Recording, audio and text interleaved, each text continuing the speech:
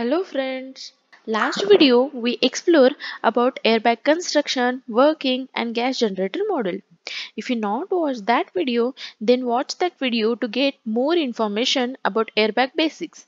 The link of previous video is given in the description box. Last video I asked you one question how many airbags a modern car is having. The answer is modern vehicle may contain up to 10 airbag modules in various configuration. For example, Genesis G80 is having 10 airbags, but in India, maximum 7 airbags are available in Toyota Yaris and next to that 6 airbags are available in Ford Figo and Hyundai Elite i20. Now in this video we will explore about different type of airbags and its position in the vehicle. So let's begin.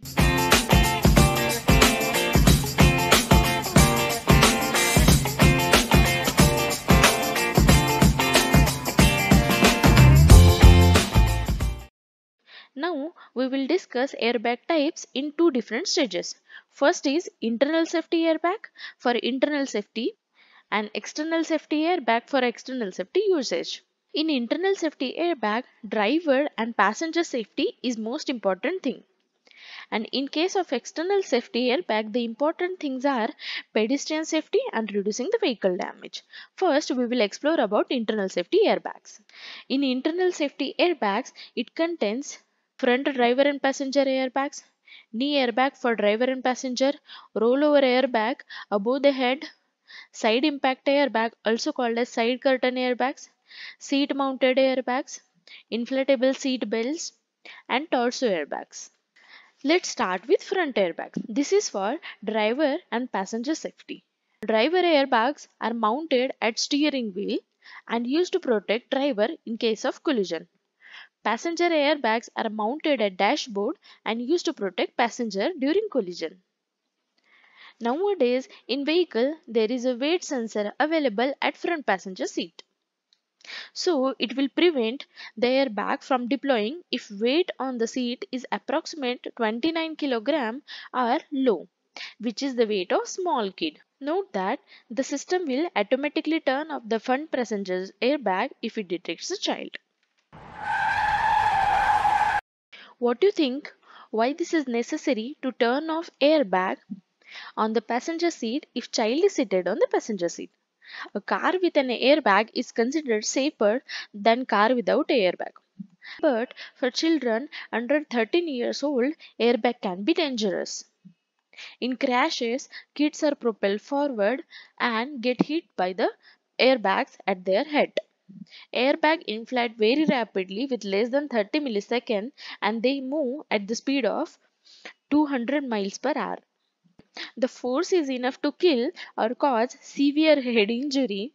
The safest place for children is in the center of back seat with lap and shoulder seat belts. Now let's explore rollover airbags. These airbags are mounted above the driver and passenger seat.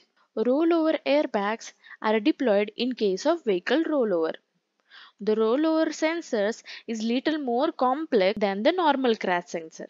The electronic rollover sensors provide additional protection by measuring whether the vehicle is tilted, how fast the tilt angle is changing and the rollover condition. Inclinometer along with gyroscopes are designed to measure lateral and vertical acceleration, roll rate and tilt angle. The detailed information of all sensors are explained in previous video. The link for the video is given in the description box. One more important thing, the duration of inflated airbag in case of rollover is more as compared to other types of airbags. If we talk about knee airbags, they are placed below the steering wheel or lower parts of the dashboards. Knee airbags are used to distribute impact force to reduce the leg injuries. Along with this, it helps to reduce forces on occupant chest and abdomen by controlling lower body movement. Seat mounted airbag. This seat mounted airbags mounted at driver seat, front passenger seat as well as second row seats. They are useful to prevent head and neck injuries during collision. Come, now we will explore side curtain airbag. Side curtain airbags basically help to prevent neck and head injuries.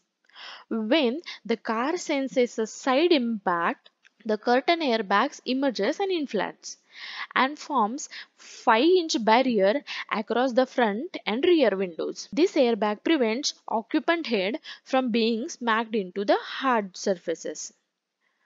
Curtain airbags are most often mounted within the headliner, above the door and windows.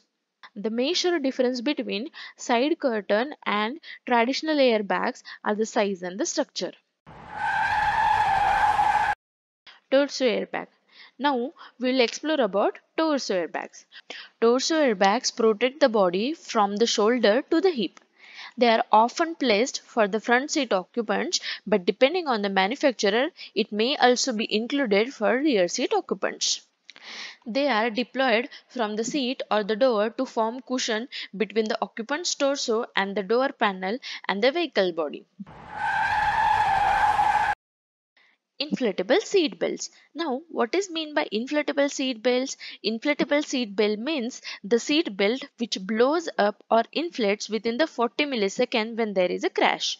This type of seat belt spread the force of crash over 5 times more area of the body than the conventional seat belts. The seat belts were designed to protect the passengers sitting in the back seat, especially children and the elders. So up to now we explored different types of internal safety models. In the next video we will learn about different types of external safety airbags and their usages. Wait wait where are you going? First listen the question.